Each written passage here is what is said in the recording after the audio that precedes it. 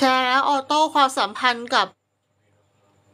ฟอร์มจะเป็นยังไงต่อไปครับ ความสัมพันธ์นะคะจะเป็นยังไงต่อไป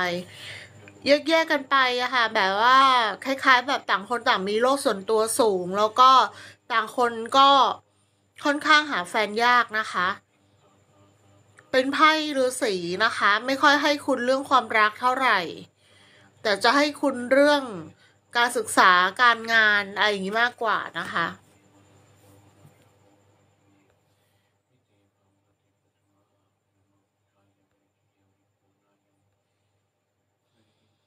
คุณเต้ คุณเต้แชร์หรือยัง แชร์แล้ว นนท์จะกลับมาคุยมาสนิทกันเหมือนเดิมไหมครับ เป็น LGBTQ หรือเปล่าคะ